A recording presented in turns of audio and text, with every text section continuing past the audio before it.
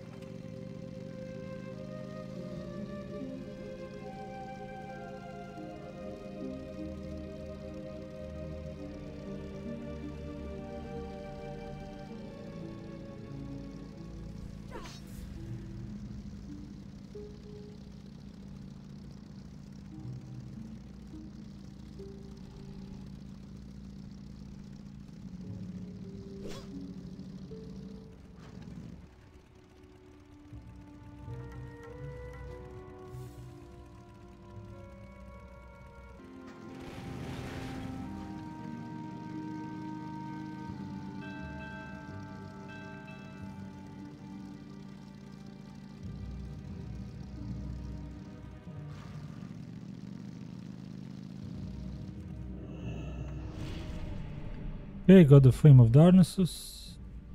This item begins the quest.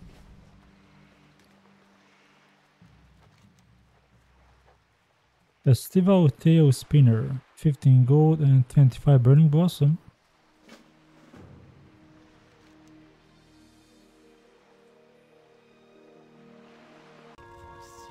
Let's turn in, stealing Darnassus Flame.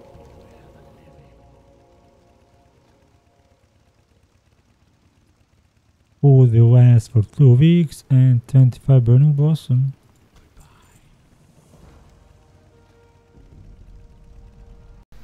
Thank you for watching this video. Remember to hit that like button and subscribe for more World of Warcraft uploads and streams. If you would like to support my channel, you can use that Stream Elements PayPal link in description of this video. Until next time, goodbye.